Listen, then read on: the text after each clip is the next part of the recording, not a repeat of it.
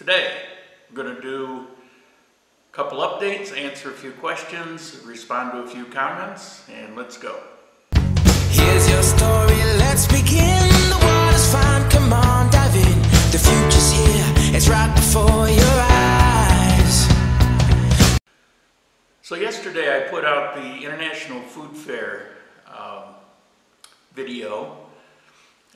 I didn't take a camera with me, so I, I just used my cell phone, and um, not bad. For uh, it's a top line Samsung, has a pretty good camera in it, and I got a few emails, I got some comments, and the one comment I wanted to respond to is um, thank you for posting this video. It was so great to have such a large turnout. It would be good to note that the money raised went to charity to support an organization that provides education to home health and hospice care in Cuenca.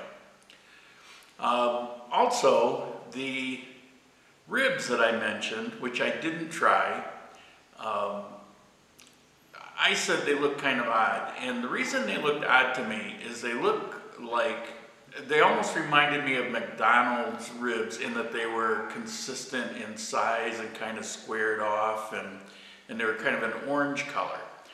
Well, that orange color would be whatever that sauce is, and it could have been delicious, I don't know. Uh, it was just my first impression. I certainly didn't mean to offend anybody, but I, I just walked up and looked and said, oh, they look kind of odd. I was informed that those are actually baby back ribs, and that's one of the reasons they were uh, smaller. And the truth is, I haven't seen baby back ribs in quite some time because they're pretty rare here.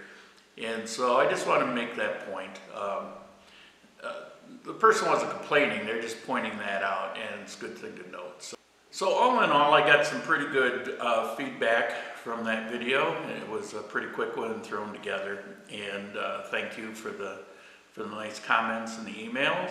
And um, I have to remember that hundreds and eventually thousands of people watch these, and you know try to be more accurate. But it is kind of tough because, again, it's my impressions and my opinion. And so, you know, what are you going to do? You're not going to always be in agreement. But these in particular, they were good comments. This is weird. This is a bacon I've talked about before. And it's gold and black. And then, now it's black and gold.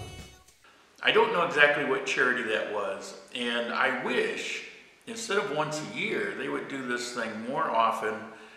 Uh, maybe when there's other events, include themselves in those events so they're kind of an ongoing thing when they have the carnival downtown or Christmas time or that sort of thing. They could have these booths. It was, it was obviously a big hit. I would say there's probably tens of thousands of people that uh, attended that throughout the day. And if it's that much of a hit, and it was obviously a lot of smiling faces, a lot of people really enjoying the food. The food that I saw and tasted and smelled was of very high quality. It would be nice to have that as, as an ongoing thing if it were possible. Uh, maybe it's not possible. Okay, check this out.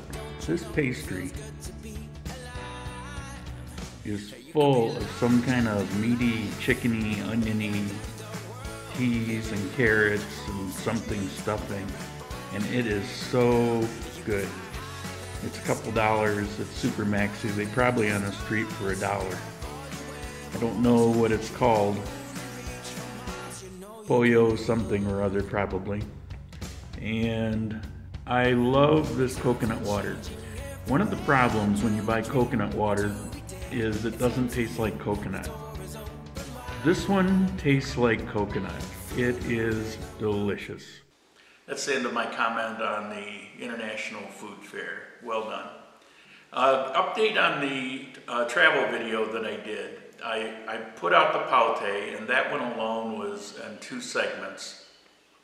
I'm still working on the Gualaceo Gualaceo and the Chorta Lake. there's just so many clips, and I'll be perfectly honest, this is not my thing. Um, cameras, I've been around my whole life.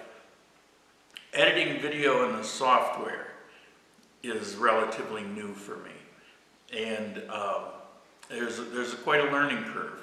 I've got two software programs. They're both for pay. They're good. They're good programs. They're beyond me. It takes a while. And what I have here is I really set myself up, not necessarily for failure, but for a lot of work. I have lots of short clips that I have to edit and put together and and make it so that it's watchable. And it's taking some time for me to do that. To be perfectly straight with you on that. Um, I'm not going to give up. I'm going to get them done, and and you'll see those uh, pretty soon. Uh, but um, I just want to give you an update on that. It's not forgotten. Uh, I did learn next time I go out and um, do that sort of thing, if I'm going to hit two or three, you know, areas of interest, to take more time. I had originally planned that to be a four to five day trip, and it ended up being two days, and it was really rushed, and so the shot set up and that sort of thing, I'm paying for it now. Uh, so you live and learn. Um, I do think it needs to be done. I, I don't think there's enough about these outlying towns um, on video or information, and that's where a lot of the interesting things take place. So I will, I will get to that and I will get it done. I work on it every day, but it's, uh, it's frustrating. So in the meantime, I'll go back to doing some of these in between uh, so that I can, I can put these up fairly often and keep everyone up. You know you could.